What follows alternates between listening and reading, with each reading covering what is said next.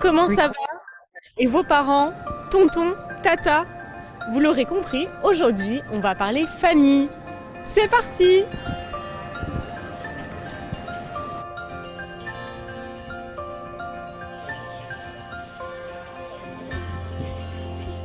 De combien de personnes est composée votre famille La mienne des trois personnes. Et avec le chien, ça fait quatre. De combien de personnes se compose votre famille De quatre personnes. Il y a qui dans votre famille? Il y a ma femme et mes deux filles. Bien, je dirais que ma famille se compose de sept personnes. Il y a qui? Mon père, ma mère, moi, mes frères et mes sœurs.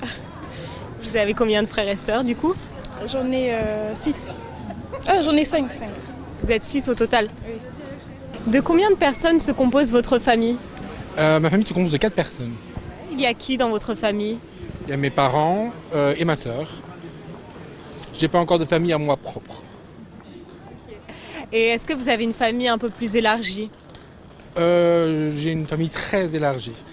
Euh, on a beaucoup d'oncles, de tantes euh, qui vivent ici en France, qui vivent à l'étranger, au Portugal. Donc ça fait une grande famille. Et vos oncles et tantes, est-ce qu'ils ont des enfants? Tous, au moins un. Donc oui, ça fait beaucoup.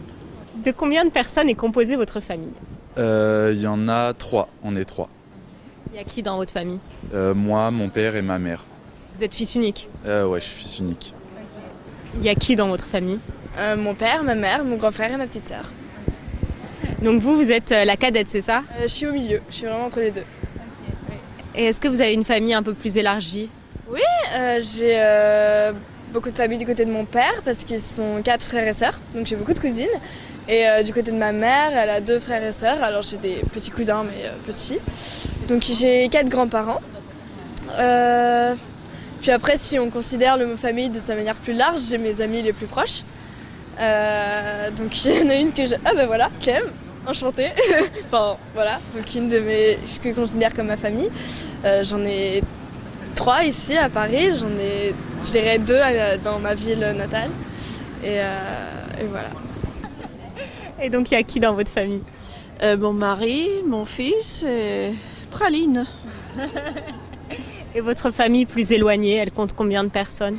Euh, plus éloigné, ça veut dire euh, quoi pour vous Plus éloigné les, les oncles? Euh, Oh, les oncles, il y, en a, il y en a beaucoup. Je pense que 10 pour moi.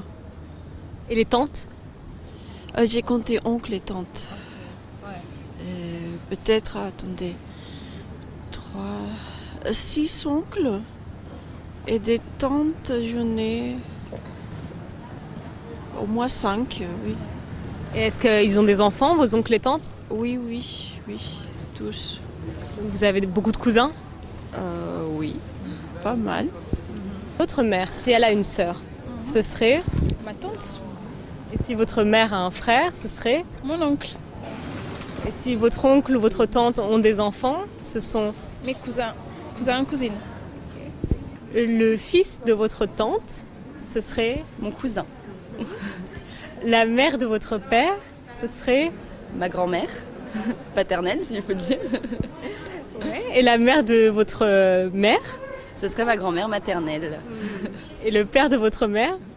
Le, mon grand-père pater- euh, maternel, pardon. voilà, je m'embrouille. Et si vos frères et sœurs euh, sont amenés à avoir des enfants, euh, ce serait qui pour vous? Mes neveux et mes nièces. Et euh, après, je sais pas, parce que maintenant il y a le- les nouveaux genres, donc euh, non-binaires. Donc ça, je saurais pas comment les qualifier, enfin je sais pas encore en tout cas. Et euh, je suppose que je leur demanderai comment ils veulent. Donc euh, voilà. Ok. Et euh, votre mère, si elle a une sœur, c'est qui pour vous? Ma tante. Et mes oncles, donc. Et les enfants euh, de vos oncles et tantes? Mes cousins, cousines du coup. Beaucoup de cousines, hein, de, pour ma part. Famille plutôt de filles? Ouais, pas mal, oui. Et si vous avez un mari, euh, votre mari, ses parents, ce sont pour vous? Euh, comment est-ce qu'on dit euh, J'ai perdu le mot. vos beaux-parents? Voilà, mes beaux-parents. Ma belle-mère et mon beau-père. Si vous étiez marié, les parents de euh, la personne avec qui vous êtes marié, ce serait Mes beaux-parents Donc il y aurait d'un côté. Ma belle-mère et mon beau-père. Et toute la famille de euh, votre époux. Voilà, soyez une fois encore bienvenue dans une nouvelle séance du module 3. Alors, excellent. J'espère que vous allez bien, j'espère que vous avez la pêche, que vous avez l'énergie pour continuer l'apprentissage du français jusqu'à maintenant. N'oubliez pas, n'oubliez pas que l'examen, oui, ah oui, alors, oui, c'est en février. Oui, peu importe la date pour l'instant. Mais j'espère que vous allez bien. J'espère que vous avez de la, même, de la même façon une très bonne semaine. On est presque à la moitié du cours. D'accord? On est vers le DELF entre A2 et B1. D'accord? Oui, oui, en effet. Et donc, bonsoir Ariana, Laura, Leonardo, Manuel, Paola, Sébastien et Valentine. Qu'est-ce que vous avez fait pendant cette semaine? Tu vas bien?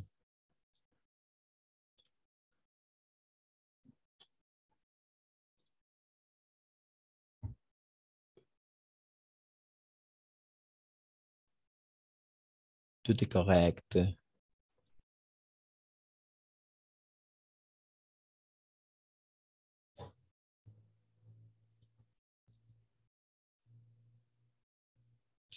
Alors.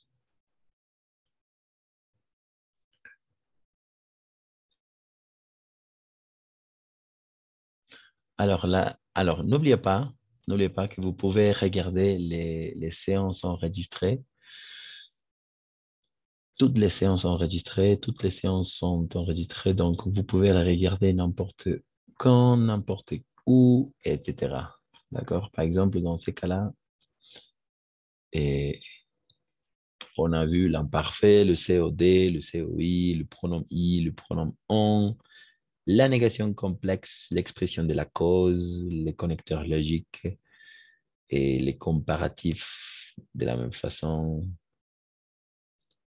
les connecteurs logiques, les comparatifs, euh, les superlatifs, les adverbes de fréquence, quelques, quelques-uns, quelques-unes, n'importe quand, n'importe comment, etc. L'expression de la cause, l'expression de la conséquence. De la même façon, on a déjà regardé. Voilà. Et maintenant, on va s'intéresser à regarder et... Alors, il y a plein de choses à regarder.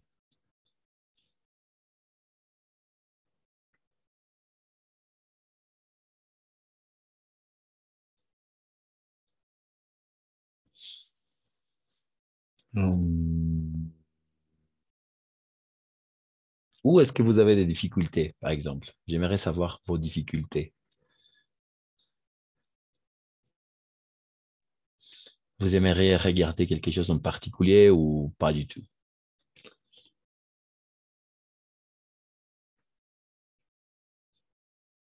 Non?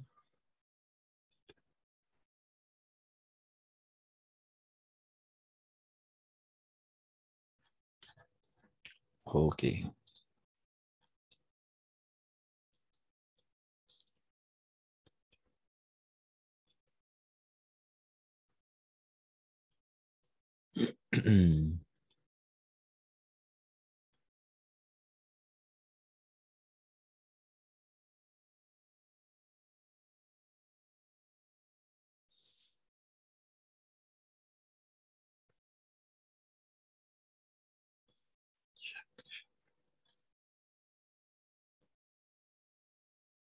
Oui, on va regarder, on va s'intéresser tout simplement aujourd'hui à regarder les, pronoms neutres, d'accord? Indéfinis, pardon, indéfinis. OK. Ce sont les pronoms chaque, chacun, chacune, aucun, aucune, certains, certaines. D'accord? Il y en a trois. OK? Il y en a trois. On va diviser la classe en trois parties. Dans un premier temps, on va regarder ces parties-là. Ensuite, ces parties-là. Et pour finir, ces parties-là. Voilà. Chaque, chacun, chacune. Deuxième partie, aucun, aucune. Troisième partie, certains, certaines. D'accord? Donc, parfait. Et quelqu'un qui veut commencer la lecture, par exemple, de chaque, chacun et chacune, insiste sur l'individualité, par exemple, d'accord? Chaque, chacun ou euh, chacun, chacune, attention à la prononciation, chaque, chacun, ici c'est un, nasal, chacun et chacune, une comme Y et N. YN, chacune, insiste sur l'individualité. Voilà. Par exemple, chaque et chacun, chacune, quelqu'un qui veut lire ces deux parties.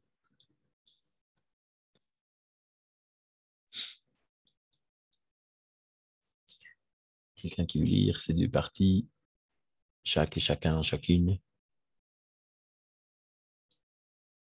Ariana, Laura, Leonardo, Manuel, Paola ou Sébastien.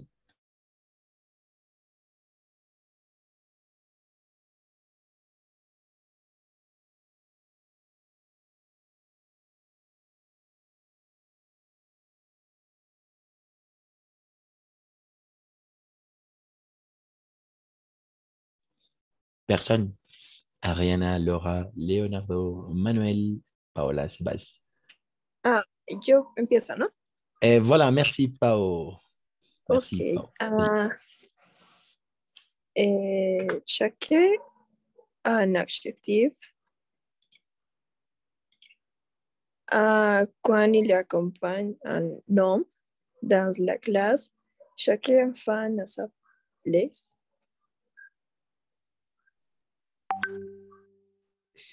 D'accord, tu peux continuer chacun. Ok. Eh, chacun ou eh, chacun sont des pronoms identifiés singulaires et les fans préparent un spectacle et chacun un rôle. Chacun de ces images est différent. différent. Exact, différente, c'est ça. Et très bien, merci Paola. Attention ici, chaque, d'accord? Chaque est un adjectif. Quand il, ici, on va imaginer le dé, on va substituer le dé par un, le dé par un T quand il, quand il accompagne un homme. Par exemple, dans, pas dans, dans la classe, dans la classe et chaque enfant a sa place. Chaque enfant a sa place.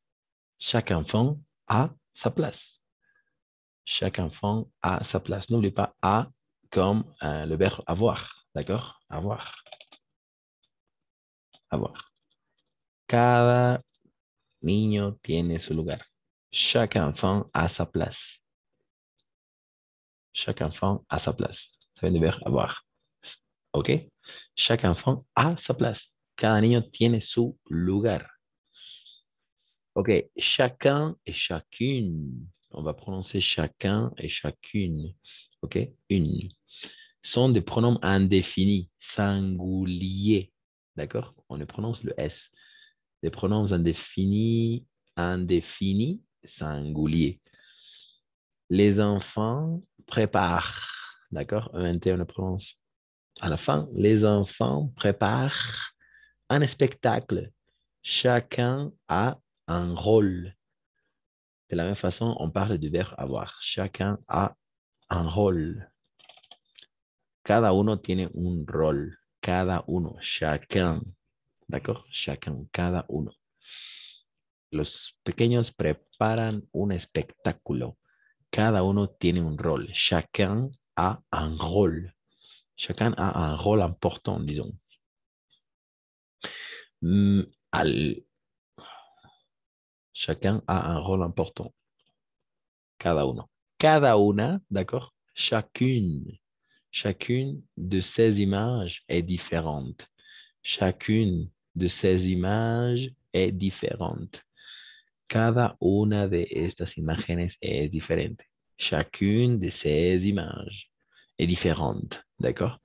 Attention à la prononciation de chacun et chacune pour différencier.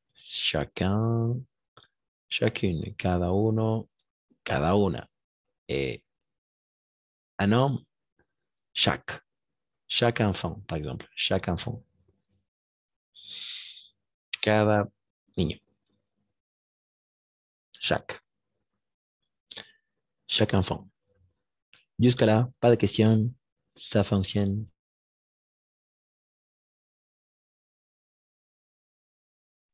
Ah, chacun, cada uno, n'oublie pas. Cada uno. Cada una. Chacune.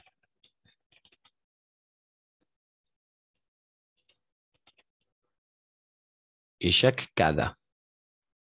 OK. Mais toujours plus un homme. Chaque plus un homme. Chaque plus un homme.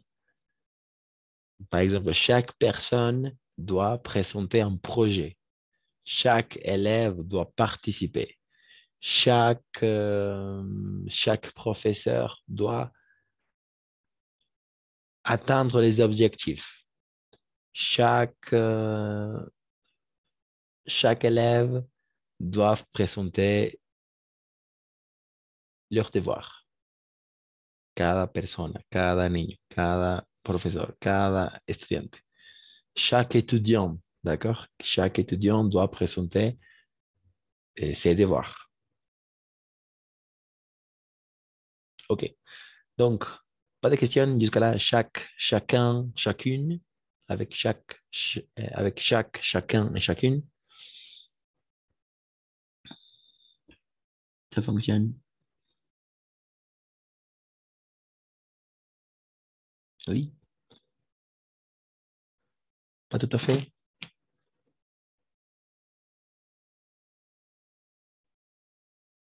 Ça fonctionne pour tous. Et ça marche. Ok, parfait. Merci, Paola. Ça marche. Ok, on continue alors. on continue. Aucun, aucune. D'accord? Aucun, aucune. Indique, aucun, aucune, indique, pa- parce qu'on ne prononce pas ENT à la fin, indique l'absence totale. Il s'emploie toujours à la forme négative. Aucun, aucune.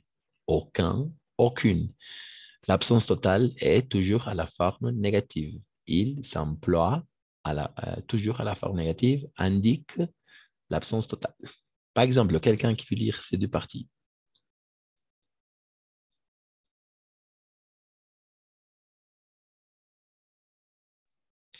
Quelqu'un qui veut lire.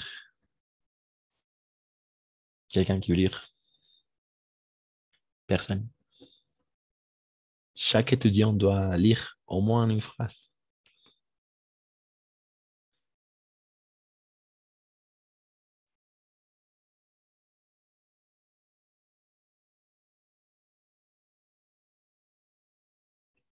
Alors, oh, Ah, d'accord. Léonard, peut-être? Et toi? Et deux, deux. Deux. Ok. Euh, aucun, sont des adjectifs quand ils sont accompagnés d'un nom. Aucun tronc, euh, aucun tronc de s'écroule à cause de la neige. Aucun, aucune sont pronoms quand ils reviennent à un nom qui précède des troncs il y en a, mais au- aucun ne va apparaître.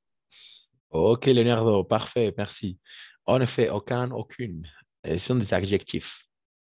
quand ils sont accompagnés d'un nom. OK? Par exemple, aucun train, aucun train ne circule à cause de la neige.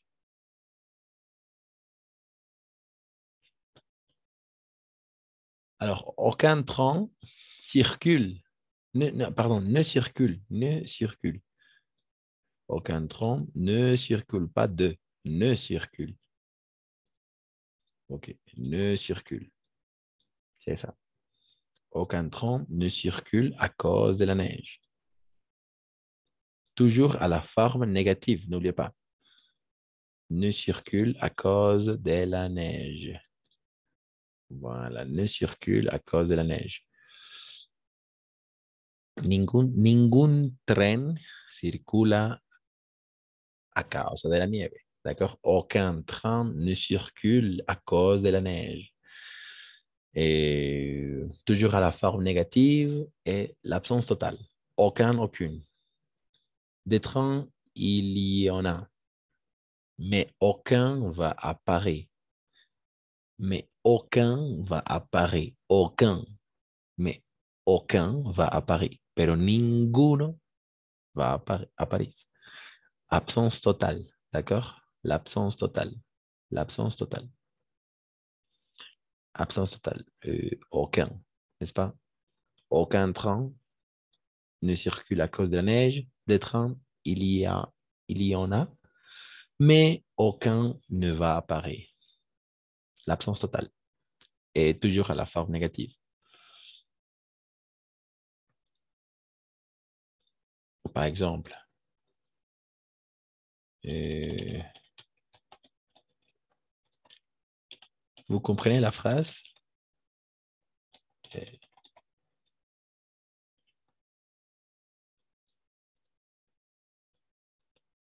Non. J'ai euh, je ne oh, je n'ai aucune idée. Aucune idée.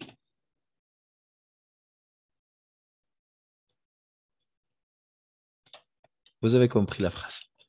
Vous avez, vous avez compris la phrase? Non, je n'ai aucune idée. Aucune idée. D'accord? Absence, eh, absence totale. Ninguna idea. No tengo ninguna idea. Je n'ai aucune idée. Aucun, aucune. Mais aucun ne va apparaître. Ok. Aucun, aucune.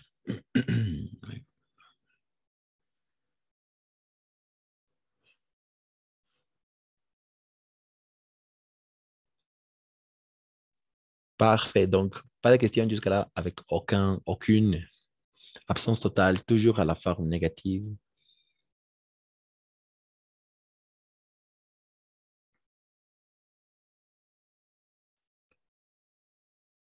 Aucun, aucune. L'absence totale est toujours à la forme négative. Qu'est-ce que vous dites? Ariana, Erika, Laura, Leonardo, Manuel, Paula, Sébastien et Carmen. Vous avez bien compris jusqu'à là, chaque, chacun, chacune, aucun et aucune insiste sur l'individualité, chaque, chacun, chacune et aucun, aucune indique l'absence totale et toujours on l'emploie à la forme négative. C'est ça. Donc, euh, qu'est-ce que vous dites jusqu'à là? Ça fonctionne?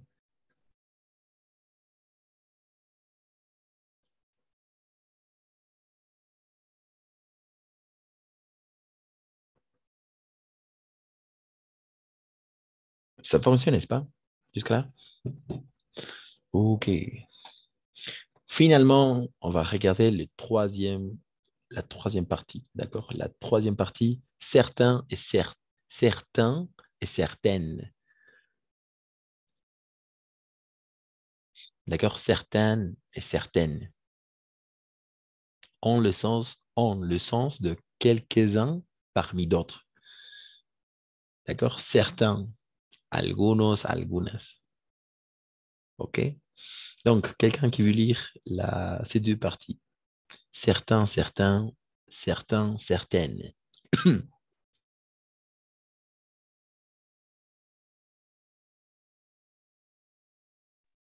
certaines, certaines. Moi. Hmm, vas-y, merci.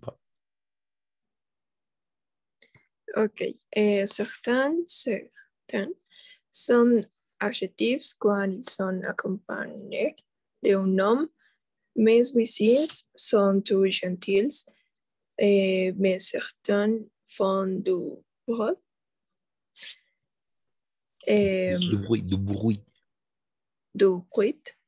bruit, Et certains, certains, oui. Oui, exact. C'est ça. Et son pronom quand il répondait à un nom qui précède parmi les clients. Certains sont étranges. Certains, parmi les clients, certains sont étrangers. Exact. Certains, certaines sont des adjectifs quand ils sont accompagnés d'un nom. Mes voisins, d'accord? Voisins, pas voisines, ni voisins, voisins, sont tous gentils, mais certains font du bruit.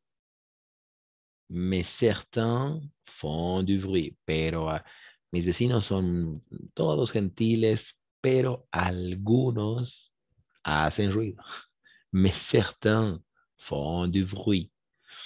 D'accord? Mes voisins sont tous gentils, mais certains font du bruit. Algunos. Alors, en le sens de quelques-uns, n'est-ce pas? Quelques-uns parmi d'autres. Algunos entre otros, quelques-uns parmi d'autres, c'est-à-dire certains, algunos. Certains, certaines, son pronom quand il euh, renvoie euh, à un homme qui précède. Parmi les clients, certains sont étrangers. En- entre los clientes, algunos son extranjeros. Certains sont étrangers. Sont étrangers. Voilà, c'est ça.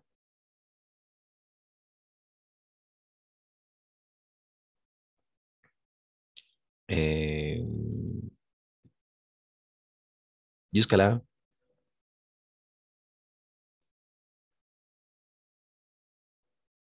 pas de questions. Qu'est-ce que vous dites? Non, ça marche. Merci. Les autres? Pour toi, Sébastien, Manuel, Leonardo, Laura, Erika.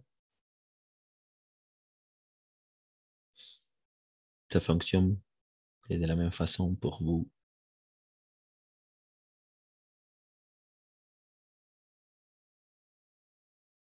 OK.